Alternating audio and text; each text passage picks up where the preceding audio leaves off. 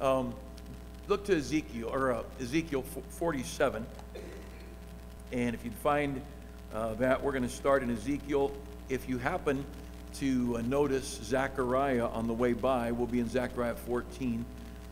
And uh, we'll be a couple other places too, but they'll be easier to find. Um, am I better off doing something different here, Johnny or Nathan? Are you guys okay? Should I use a different mic? Come and get me a mic stand. Come on up here and take charge. I got to keep these people from falling asleep. Um, in Ezekiel chapter 47, while Nathan gets a microphone arranged for me, um, and then Zechariah 14, just a quick word of review. We have we, have been going through covenants and, and specific ways God deals with people. And um, all scripture, let's start with this. All scripture is profitable for doctrine. For doctrine, for reproof, for correction, for instruction in righteousness, all scripture. The whole book, Genesis to Revelation, it's all profitable. It's all a help to us. It's all it, it's all important. But there are some things that we can look at that can be, when we start saying doctrinally, devotionally, spiritually. Um, you see Abraham taking his son Isaac up to Mount Moriah. There are lessons about self-sacrifice, about trust. Um, there's so many good lessons in there, in pictures of the blood atonement. But um, what happened on Mount Moriah was between Abraham and God, and it had to do with uh, his faith in God. You got it all together? You there almost? So um, tonight we're gonna we're gonna wrap these lessons up, and I want to talk to you about the final there's there's a, a, final covenant here that we um, we were talking about. Abraham had a covenant. His promise was for what? Land. He also had a promise that he would get seed, his children. So you can shut this this one off then, maybe Johnny, uh, the big funny looking one. Um, his seed would be. It'll take a minute for them to figure this out. Um, he'd have lots of kids like the stars of heaven. Also, all the world would be blessed there were several things involved in the covenant God made with Abraham, and that's unconditional. It was settled.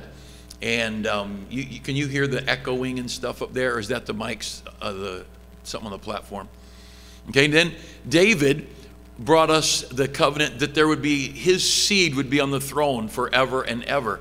In between David and David and uh, Abraham was Moses, and Moses gave us what? The law, covenant of the law, the rules there's a there's the land was promised to Israel through Abraham.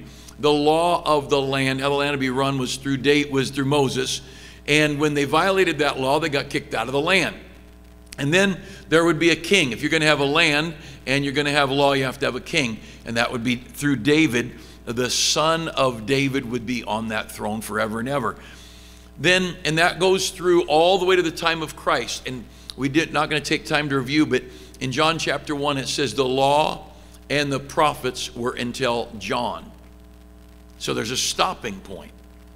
John, uh, Romans 10:4 says Christ is the end of the law for righteousness. So there's a stopping point. There's a change. We all understand that in the Old Testament they couldn't eat shrimp. And glory to God, hallelujah. In the time of, of the, the New Testament church, we can eat shrimp. And uh, I was somewhere the other day and had a plate, three different kinds of shrimp on one plate. Couldn't get any better than that unless you could find a fourth way to cook shrimp. And um, this morning, my wife and I had bacon. Praise God. And, uh, and eggs, but it doesn't matter what else you eat. If you have bacon, it's all good. But in the Old Testament, we understand you couldn't have bacon. Who wants to be an Old Testament Jew? What a terrible life. You couldn't have a pork chop, couldn't have pork roast, no pulled pork sandwiches, no pork ribs, no, no head cheese. I mean, what would we do without? How many of you ever had head cheese? Just a few people that are real country. I watched my grandmother cook it and I refused to eat it. I wouldn't even taste it. Absolutely not. Said, No, grandma, I love you. I'm not eating that. That's nasty. But anyway, um, now is out of the when, when you carve what's left on the skull of a pig and you put it into a meatloaf pan and bake it. You, I mean, nobody should eat that. That is just And that's really what it is. You that don't, I'm not exaggerating. This is not preaching now, this is the truth. So, um, but in the Old Testament, they couldn't have pork. And if it, uh, it had to divide the hoof and chew the cud and all these different, and we know that's not true in the New Testament, right? So there are things that are different. And so we are going to today, I'm going to bring you to the very last, there's a, a, an eternal covenant of a kingdom, and there's all kinds of names you could put on it.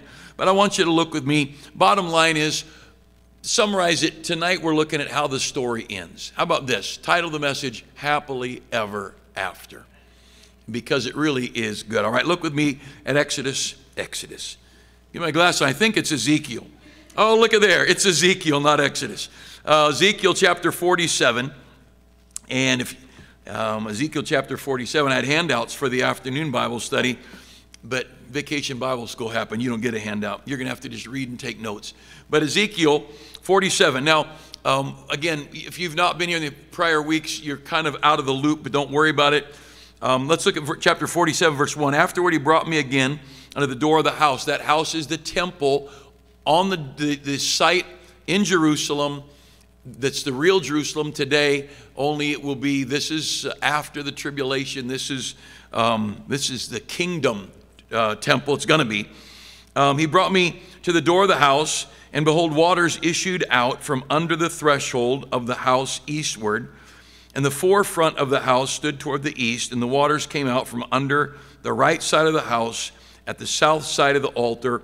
And so we talked last week, and I think I had a picture that this water, there's literally a fountain coming from the throne of God, and it flows east, and it ends up at a place called Engedi, and down into the, the Dead Sea, and it heals the Dead Sea. And we'll read about that in a minute, and I'll show you just exactly where it is. Um, so he's standing there, and um, and I'm skipping through because there's so much scripture here. Um, and, uh, and, and so he begins to measure, and he goes out a thousand cubits, which would be 1,500 feet, and um, the water's ankle deep. It goes out another thousand cubits, it's, it's waist high, and then finally so much you can't swim. And the river's getting big, raging river, all coming out of the throne of God. One goes west toward the Mediterranean, one goes east toward the Dead Sea, and it's all out of the throne of God. And then if you go down with me to verse 7, and he says, Now when I'd returned, behold, at the bank of the river were very many trees on the one side and the other.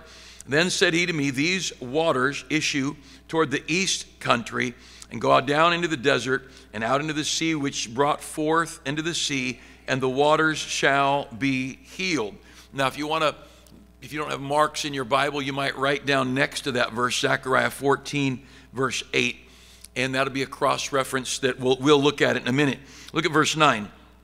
And it shall come to pass that everything that liveth, which moveth, whithersoever the rivers shall come, shall live. And there shall be a very great multitude of fish, because these waters shall come thither, for they shall be healed, and everything shall live whither the river cometh. And it shall come to pass that the fishers shall stand upon it from Engedi even in, in Eglaim. They, um, they shall be a place to spread forth nets, and their fish shall be according to their kinds as the fish of the great sea. So he says the fish that are going to be in the Dead Sea are going to match the fish that are in the Mediterranean. Right now, the Dead Sea's dead. But the waters coming out of the throne of God are going to heal the Dead Sea, and everywhere in between Jerusalem and the Dead Sea is going to be healed and there'll be it'll be a plush garden. There's a lot more scripture on that, and it'll be a, a just like the Garden of Eden was. And uh, anyway, so holding that just for a moment, um, just hold it because we're going to come right back. Go over to Zechariah 14 if you're comfortable flipping around. If you're not, just listen, and we'll be there in a moment. If you find Zechariah chapter 14. Now, God promised Abraham, what was the main promise to Abraham? Land, right?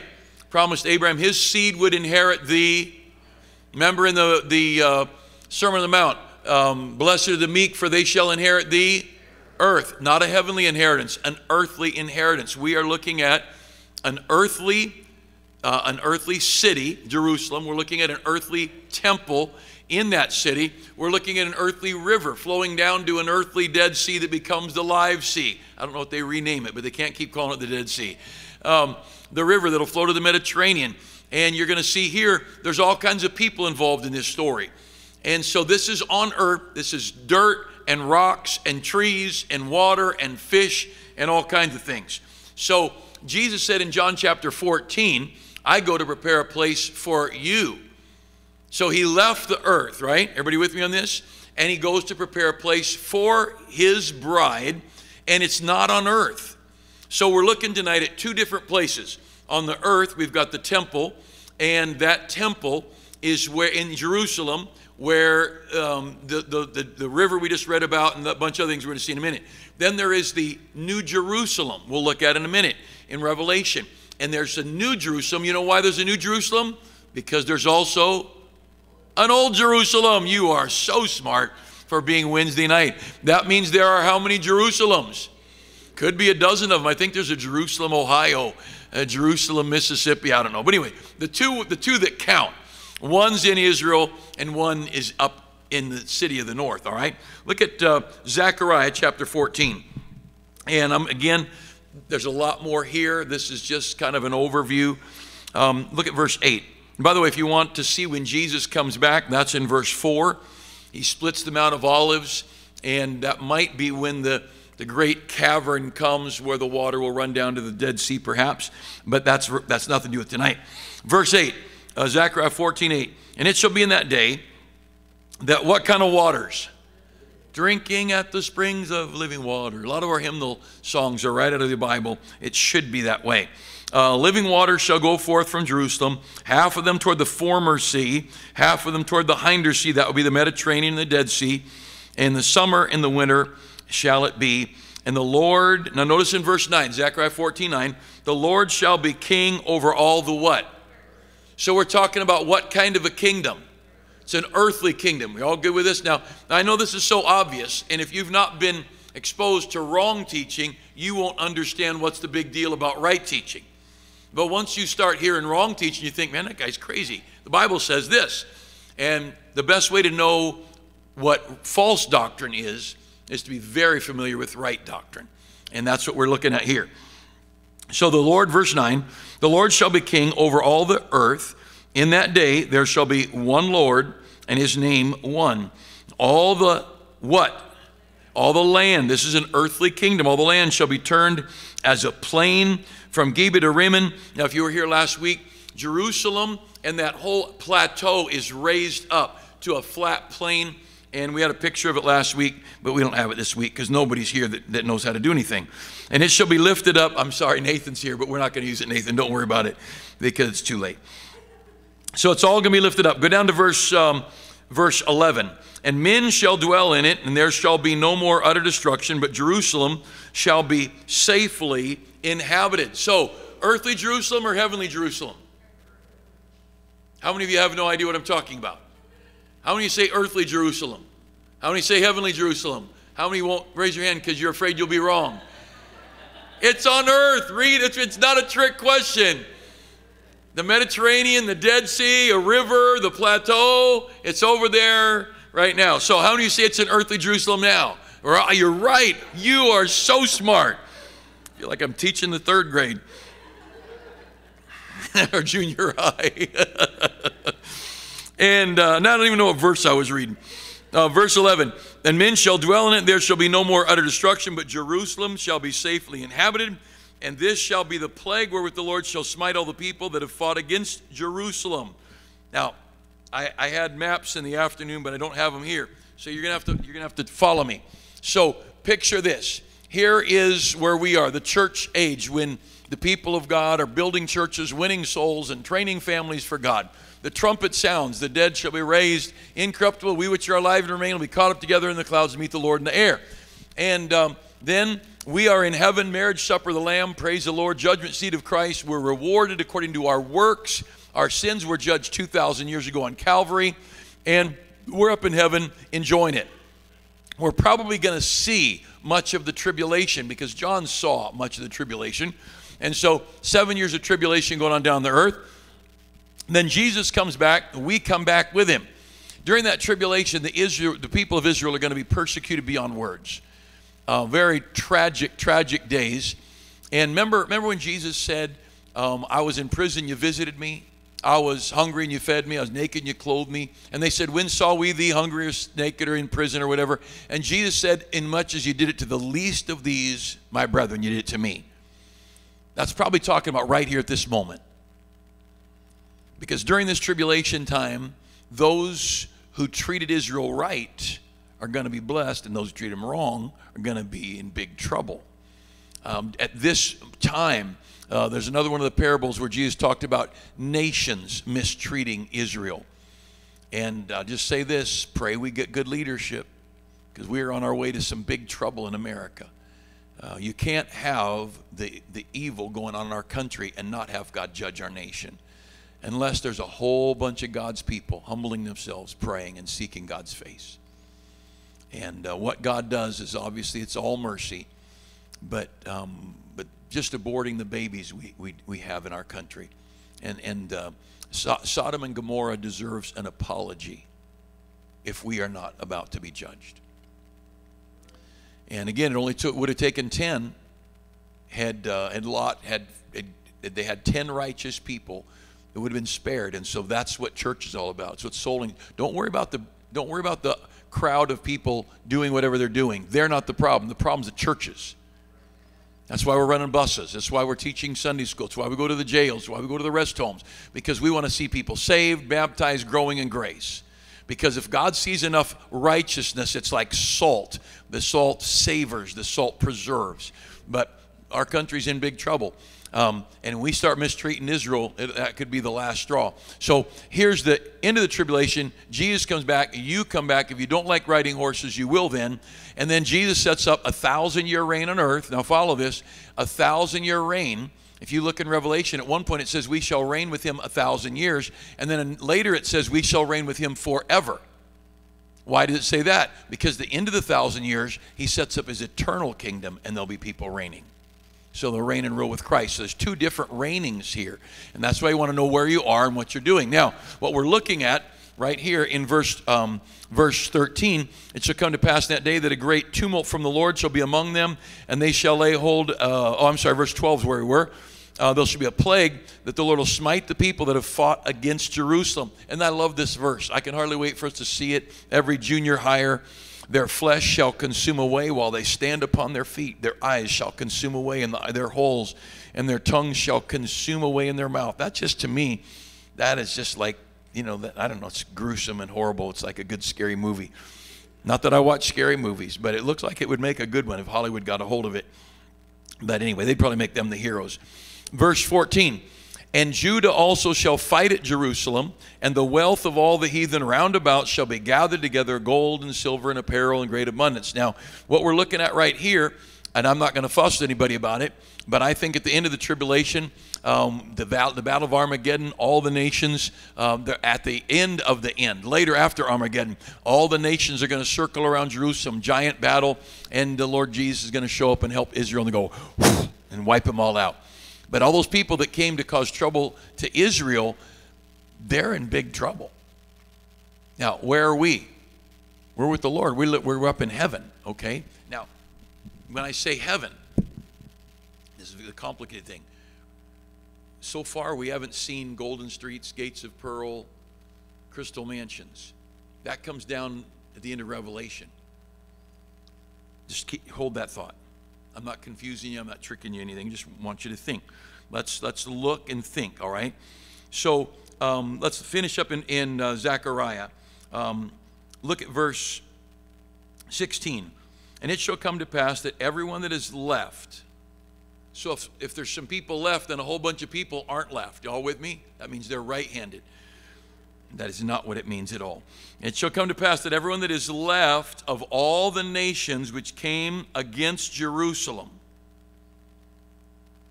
Think, think, think. I know it's Wednesday night. It's horrible to have to think on a Wednesday night. So there's a whole bunch of people that came against Jerusalem. And we just read a minute ago that their eyes are going to burn up and their tongue's going to burn up and skin's going to melt off their flesh, right? And then he says, all of them that are left. So some of that crowd you know, just one of their arms going to burn off, and one of their eyes is burned out, and their tongue's dragging, and you know they can't taste chocolate anymore. It's like suicide for that. Um, so there's some people left. Are, we, are you all good with that? I'm just reading it.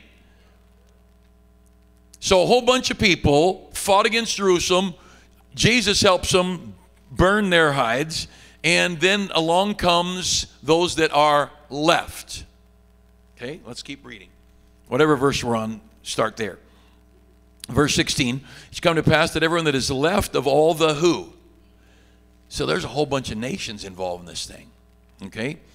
Which came against Jerusalem shall even go up from year to year to worship the King, the Lord of hosts, and to keep the Feast of Tabernacles. And there's way more involved in that than I can talk about. We'll just summarize it by this these nations and these people that are left, they have to come to Jerusalem every year at the Feast of Tabernacles. Just, trust me with that. And they are mandated. Now, we're in the, we're in the kingdom age. We're in the, the millennium or the eternal kingdom, depending on where you want to put it. And I won't fuss anybody about it because you're not going to remember anyway. Out there in the future somewhere, after we've been raptured, after we've come back. And so now let's go on. Verse 17. And it shall come to pass that whoso will not come up of all the families of the earth. There are people all over the world, they're required to come up to Jerusalem to worship um, shall, uh, of all the families of earth, unto Jerusalem to worship the King, capital K, the King, the Lord of hosts. You think Jesus might be there? I think he's there. That's looked pretty good to me, being the King, the Lord of hosts. Even upon them shall be no rain. And uh, so they're, they're, those nations are going to be judged. You don't show up to worship, no. He's just shutting the spigot off. You ever wonder why California is so dry? A, oh, what a, what a foretaste of drought divine on and on. The end of verse 18, same thing. The, the, the, people that don't come up to keep the feast of the tabernacles, and on and on. Now, so what we're talking about is an earthly kingdom, an earthly king, a place the people of the world, the families of the world can come and worship, a place people can come and uh, and seek after God. All right, now let's go back to Zechariah chapter 47, where we were a minute ago. Zechariah chapter 47 this will throw off your uh, your heavenly vision because you know most of us we think about heaven. You think oh so and so went to heaven. And you, so where where are they? And what are they doing? And who are they with? And and you know we have this kind of this vague we don't really know. And so i'm just trying to i'm just trying to paint a picture here for you. Um, look at chapter 47 now, we're talking about a heavenly Jerusalem or earthly Jerusalem. It's not a trick question heavenly Jerusalem or earthly? Earthly. Okay, just so you know. Who was told that their seed would inherit the earth? Abraham. Jesus went to prepare a place for who? For us, the bride of Christ, went away. This new Jerusalem, because the new Jerusalem is not the old Jerusalem. So we got two Jerusalems. Look at chapter 47 and verse 12. We're in uh, Ezekiel 47. I'm sorry, let's go back to verse 10. So we've already got things being healed by the waters running down in verse 9. And verse 10 it shall come to pass that fishers shall stand upon it from En Gedi even to En Eglaim. So there are going to be people in this place who are what? They're fishing. Brother Record, will you be happy? They didn't say fly fishing, but I'm sure that would be permissible if you wanted to go make a visit from the heavenly Jerusalem down to the earthly one and go fishing for something, that would be awesome. Um, you ever wonder how do you have a bass or a trout derby and who catches the biggest fish in the New Jerusalem? It, it's just hard to understand all that. But um, down in the middle of verse, uh, verse 10, they shall be a place to spread forth nets um, and their fish shall be according to their as their kinds as the fish of the great sea exceeding many. So just like the, the same fish that were in the mediterranean are going to be in the dead sea now and they're going to fish there they're going to spread their nets on the rocks. This can be a very prosperous place. So we're talking about during the millennial reign of christ or even perhaps during the eternal reign and they are fishing. Y'all good with that? On earth or in heaven? Earth. Okay good it's work it's on earth. Some of you are still wondering.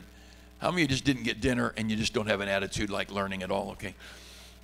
I didn't get any dinner and had been going and, and, and, Mikey Payne and Trent came over and brought me Jack in the Box burgers and fries and and a soda. But anyway, praise the Lord.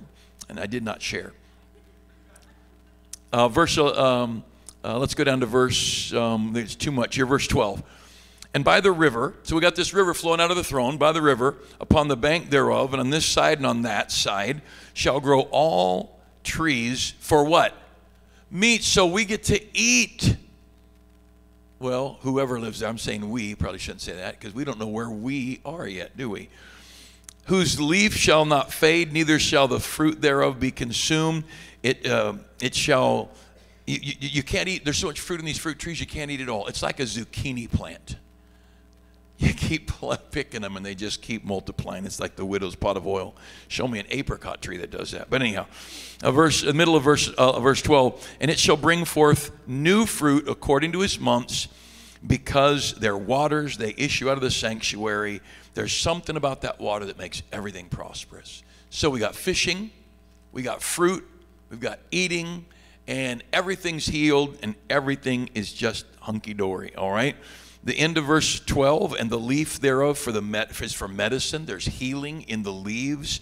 Um, verse 13 thus saith the lord god this shall be the border whereby they shall inherit the land according to the 12 tribes of israel. We're gonna not going to read through that but he describes zebulun gets this land and issachar gets this land and, and gad gets this land and reuben gets this land and he's dividing the land up again just like he did back in the day of the judges or in, in Joshua when he divided the land. And so the land is being divided. But so who's living there, Jew or Gentile?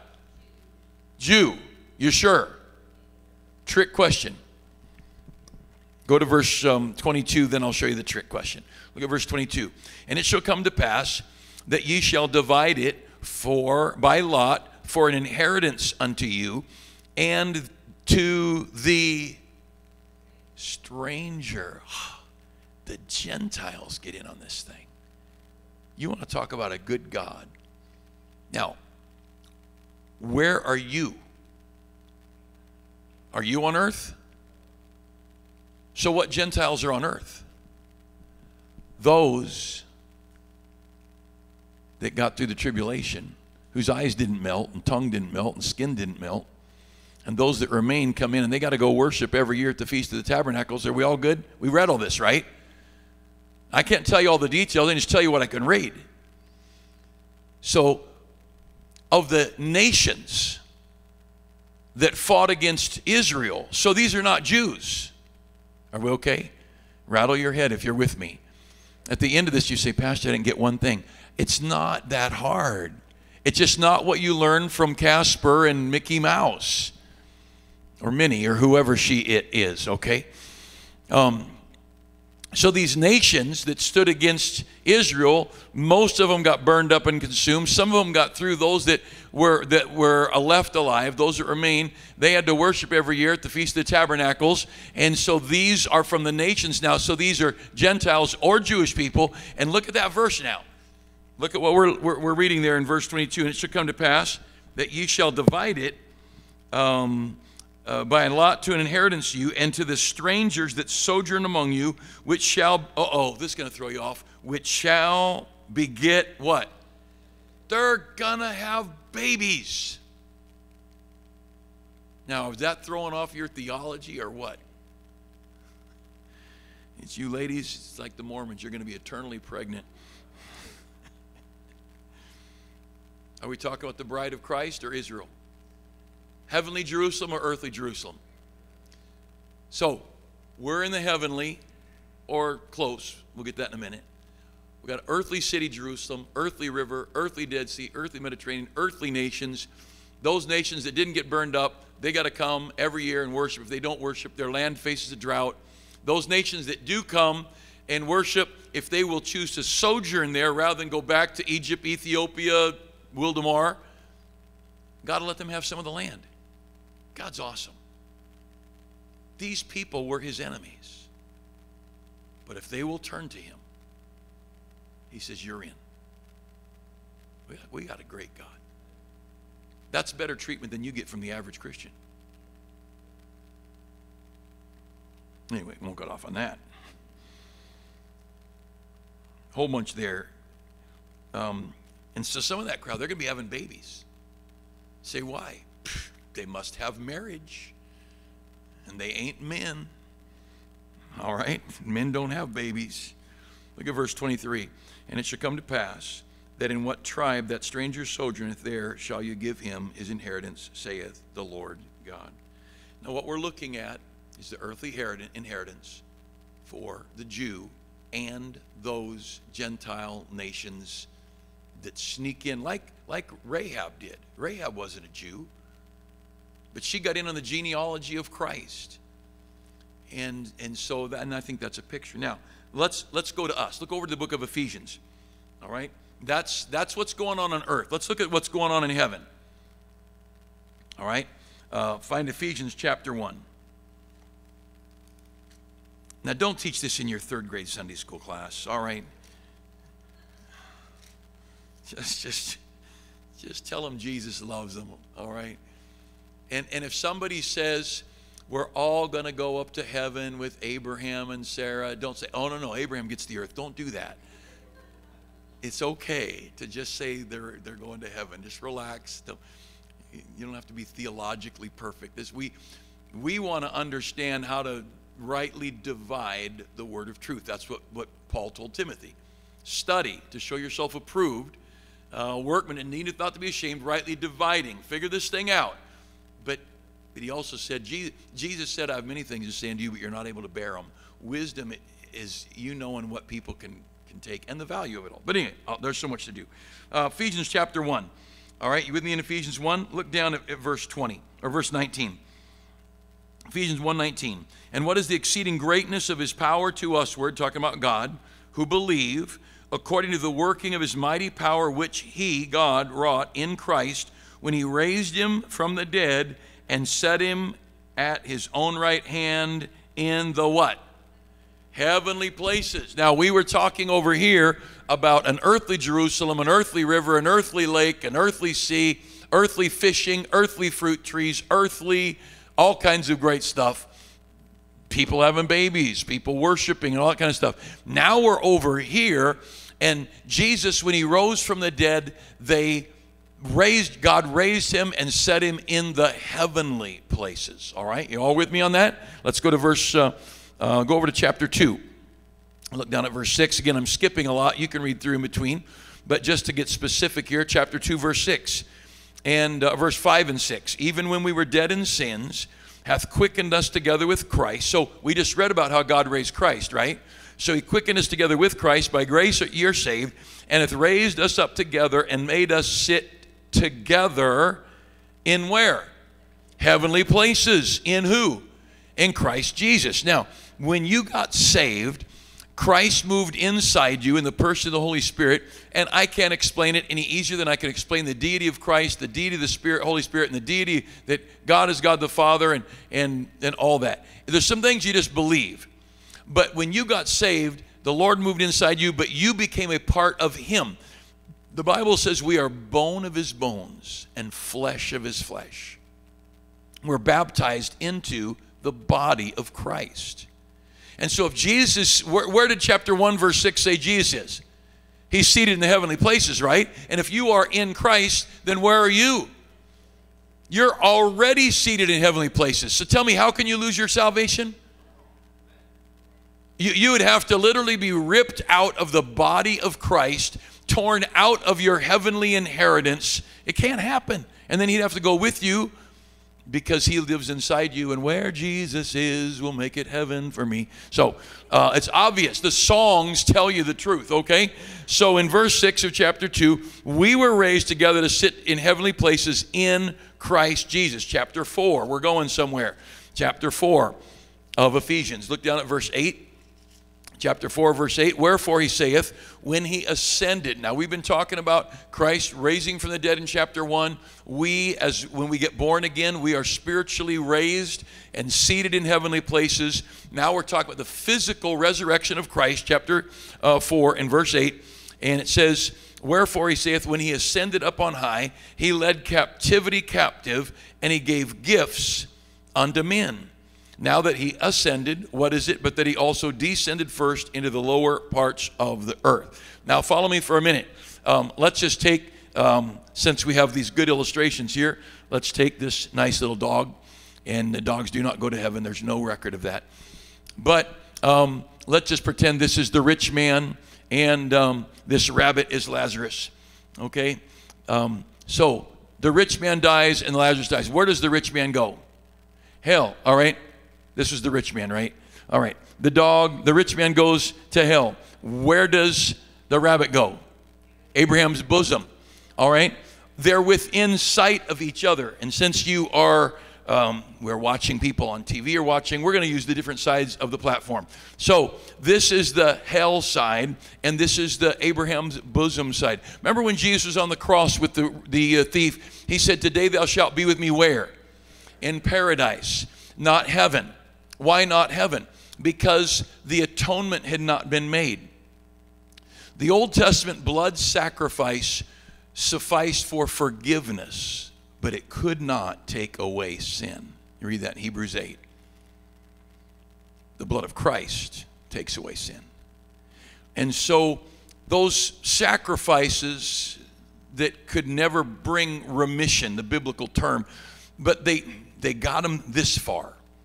And they were on layaway. They were on hold. They were on back order. Whatever you want to call it. And so they could holler back and forth, right? Remember the rich man said, Abraham sent Lazarus over that he may dip his finger and on and on. And Abraham said, There's a great gulp. But, but they're chatting or they're yelling. I don't know. Maybe they had megaphones, karaoke boxes, whatever it might be.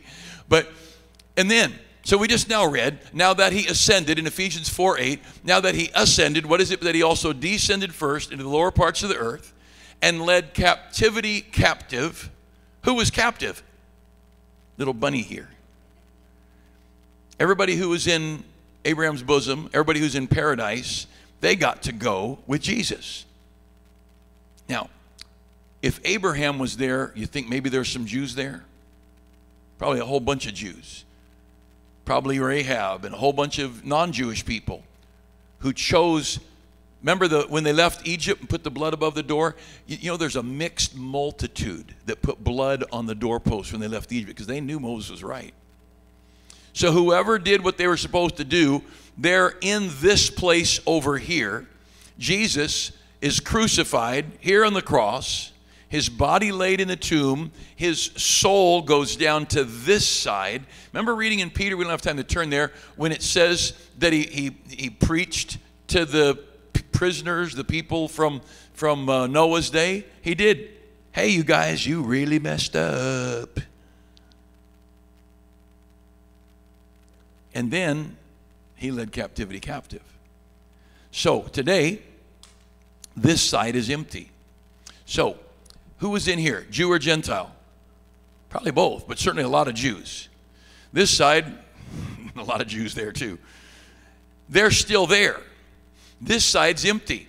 When Jesus led captivity, gave gifts unto men. Now look, look at that verse again in verse verse eight. It says, uh, how does that verse start?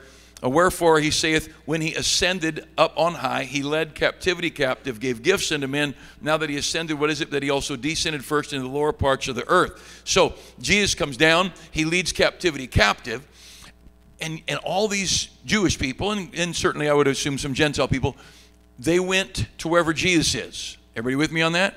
So in Ephesians 1, where did God raise Jesus? He seated him in what? Heavenly places. So so all these people that were in paradise, where'd they go? Heavenly places, right? They're up there with Jesus. Paul the apostle said in Second Corinthians, he said to be absent from the body is to be present with the Lord.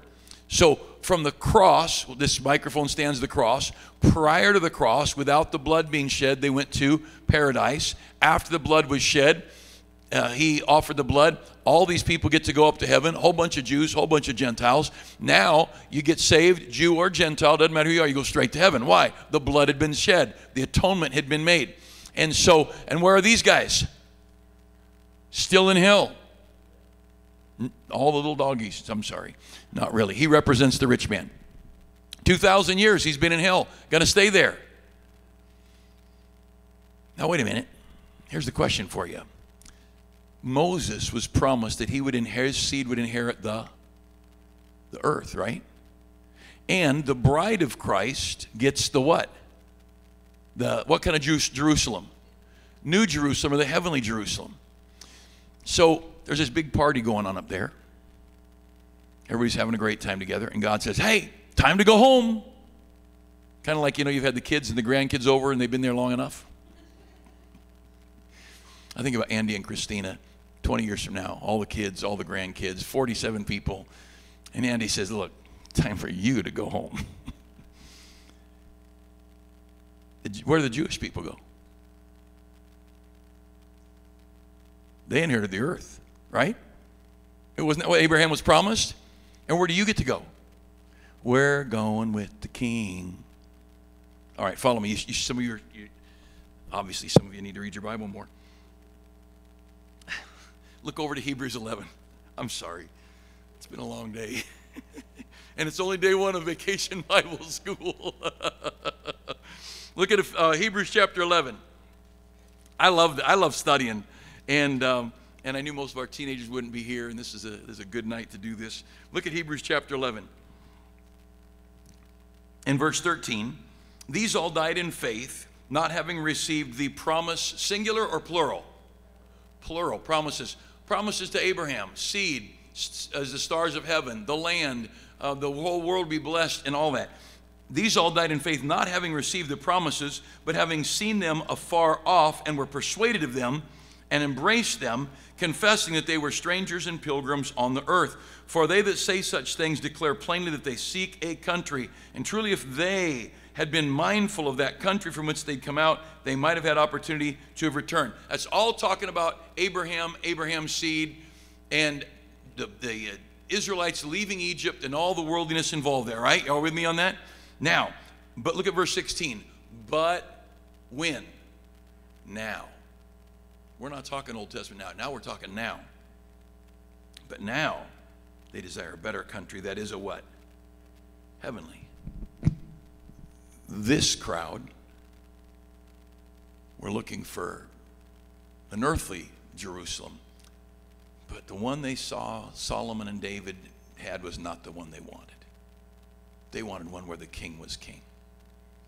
But now we desire a heavenly. And this is where you get so confused because you start reading about Jerusalem. Which Jerusalem? Is Mount Zion on the side of the north, the city of the great king? Which Mount Zion? We're going to read that in a minute. I'll confuse you some more before we're done. But now, verse 16, they desire a better country that is a heavenly. You know, the, the heavenly Jerusalem, that place is yours. That's our inheritance. Wherefore, the middle of verse 16, God is not ashamed to be called their God, for he hath prepared for them a city. Didn't Jesus say, I go to prepare a place for you? All right, he's prepared for them a city. Um, go over to chapter 12, Hebrews chapter 12. And again, just for the sake of time, I'm skipping some things, but I think you can follow. Look at chapter 12, down at verse 22. I'm sorry, verse 21. Hebrews 12, 21. And so terrible was the sight. So he's talking about Moses when Moses at Mount Sinai and the lightning and the thunder and the, the, the noise, and it scared everybody to death. So, verse 21 So terrible was the sight that Moses said, I exceedingly fear and quake, but ye. Now, just like before, under Abraham's seed, they were looking for this earthly kingdom, but now there's a heavenly. Now, in verse, uh, verse uh, 21, they were scared to death, but ye, verse 22, you're coming to Mount Zion. Now, look at this Mount Zion, and under the city of the living God. Now, I'd like you to list with me the things you come to. See, when you come to Wildomar, you come to the Arco station, Jack in the Box.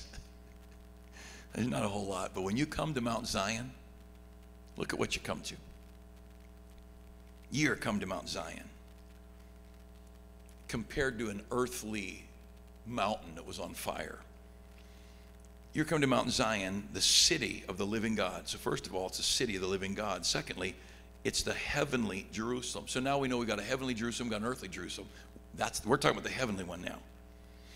To an innumerable company of angels. So when you come, when when we come home, we're coming to the city of God. We're coming to that uh, the, the, the Mount Zion of God. We're coming to a heavenly Jerusalem, to an innumerable company of angels. We're going to get there, and there's going to be angels you could not number for the multitudes. Remember in Revelation chapter 3, chapter 4, the multitudes fall down and they're crying out, and around the throne they're crying out, Holy, holy, holy. And there's millions of angels and millions of believers, and they're all crying out, Glory to God. You know what? A little girl heard a lesson on heaven. Her mom said, So, what'd you learn about heaven? She said, It's noisy. and it's going to be noisy. None of this, none of this very solemn, quiet place. Innumerable company of angels. Look at verse 23. To the general assembly and church of the firstborn. Now, some people mistakenly separate those things, and they're not separated. That is one thing. I've heard people say that there is the general assembly, that's believers in general, and then there's the church of the firstborn, that's the Baptists. And if you're a Methodist that's saved, you're in the general assembly, but if you're a Baptist, you're a part of the church of the firstborn. No joke. I heard one of the most well known preachers, or one of the very well known preachers in America, preaching that. I thought, there ain't no way. And I went through it grammatically, I went through it theologically, and I even sent it to Mrs. Bailey. I don't know if she's in here tonight, but I sent it to her. I said, check the English grammar on that. She said, oh, yeah. She said, you're right on that. Of course, I'm right. she expects her next paycheck, I'm right. But uh, to the general assembly, no comma, and church of the firstborn, which are written in heaven. You know what that is? You're coming to the place where the believers go, those who've trusted Christ, those that are born again. And when you come to that heavenly Jerusalem, whether you come um, down the road, when you come, and we'll talk about that in a second if we can get to it, you're coming home. Jesus is there, God's there gazillions of angels are there, and you're going to see the church of the firstborn gather together. You talk about a family reunion beyond words. Verse 23, at the end of it says, And to God, the judge of all, and the spirit of just men made perfect, and to Jesus, we're going to see him, the mediator of the new covenant, and to the sprinkling of blood, of, speaketh better things than that of April, Abel. Um, verse 28 Wherefore? Because that's where you're going. Because this world's not your home, you're just passing through. Look at verse 28. Wherefore, we receiving a kingdom which cannot be moved, let us have grace whereby we may serve God acceptably with reverence and godly fear. You know why we should serve God? Because where we're going, because who we're going to meet because of who we're going to be with in that city. This, this crowd that wants to get saved and just live like the world and act like the world, they don't understand where they're going. They don't understand who they're going to walk down the streets with. This crowd who says, you know, I, I just I just want all this world I can get. I'm saved. It ain't going to be pretty. So if you look back at verse 22, he says, You're come to Mount Zion. Remember, great is the Lord, Psalm 48. We sing it, Great is the Lord, greatly to be praised, the city of our God. That's an Old Testament song. Beautiful for situation, the joy of the whole earth is Mount Zion on the sides of the north. That's talking about the earthly Jerusalem, the city of the great king. What's this talking about? It's talking about a heavenly Jerusalem. You see how you can mix these verses up? We didn't get to the one you, you know, the verse says their sins and iniquities will I remember, remember no more. In chapter 8, it's talking about millennial Jews. In chapter 10, it's talking about the bride of Christ. It's really good to sort these things out, but we don't have time for that. That's some other day. It was supposed to be last week, and we ran out of time. Let me wrap it up with, with this. There's a wonderful kingdom God promised to Abraham there's a wonderful kingdom God promised to his bride. And every person from the time of Christ until the trumpet sounds that's, that gets saved, they get the heavenly inheritance. And so um, if you start getting confused and you, and you, you see a verse, um, you know what, you didn't, you weren't a good steward, so there's weeping and wailing and gnashing of teeth, you got that verse out of place. It's a good verse. It just doesn't belong here. And uh, we want to be able to rightly divide things. But I'll just tell you this if you're saved, it's going to get good. I'd suggest we all live for Him. Let's pray. Bless us, we pray, Father, as we go. And again, we thank you for our church. Thank you for the faithful workers. And you are worthy of everything. And you're worthy of the heart and soul and wallet of every person here. We ask for wisdom that we might serve you acceptably with godly reverence and fear. Help us to please you. We do ask for mercy mercy on our church, mercy on our families. Help our kids, Lord. Help them to make good choices. Help them to choose Christ. May we live in such a way that our kids would want to follow you. Thank you again for all you do for us. In Jesus' name. Amen. All right. God bless you. Thanks for being here tonight. And uh, Lord willing, if your kids are on a bus, hopefully they'll come back.